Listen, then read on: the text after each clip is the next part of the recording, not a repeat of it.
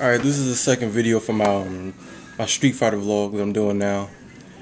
Pretty much I realized, and everybody knows this, if you're going to be competitive with Street Fighter, you have to have like your main character, like that one character you can rely on in any situation pretty much. That's like your ace in the hole. And um, when I first started playing Street Fighter, I like instantly picked like Ryu or Ken, somebody with that style of fighting the Shotokans, but um, and they are top tier but one thing I realized after a couple of playthroughs is they're super easy to use because they've got a great great list of specials, pretty much. But um, I realized that like a ton of people use Ryu and Ken, and of course each character is going to have a ton of people that use them.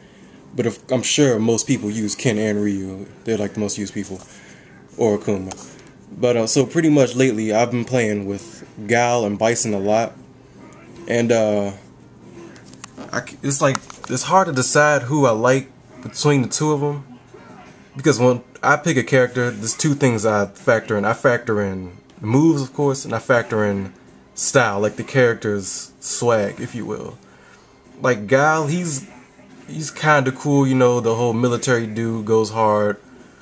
Seems like a normal guy, but he can shoot freaking destructo disc or whatever. But I really like Bison too because of you know his whole holier than thou, master of evil, taking over the world thing, kneel to my psycho power, whatever. But um, what I have realized though is I don't really like to trust tier lists too much. But Bison, from what I've seen, understand is a better player. But sometimes it just seems like his moves are a little slower than Guile. Like his um I forget what it's called. That move where he does like a somersault forward and kicks you. I think it's not called knee presses. They might be knee press.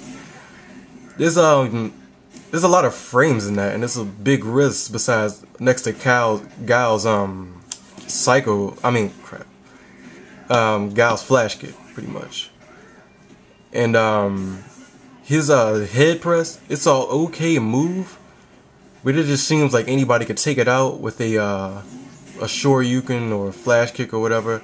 Although in this one, I think um, in Street Fighter 4, I think you can cancel it though, from what I understand. Now this special is okay, but I mean it's Ultra, but kind of seems like it would be a big risk to take, seeing that if a person, if you either overshoot or undershoot it, person's right there can hit you with the EX attack and you're pretty much done. So um, yeah, if anybody skilled to play Street Fighter who uh, knows what they're talking about and uses Guile or Bison, please let me know um, who would you say is the all-around better character to pick, judging them on style and moves. And um, also thank you Brian Von Doom. This is not my video, this is his. And thanks for uh, pretty much this isn't my video, so I don't accept whatever the whole copyright thing. So yeah, um, comment, rate, subscribe, whatever you feel like doing, and watch our other videos. And stay tuned for more Street Fighter vlogs.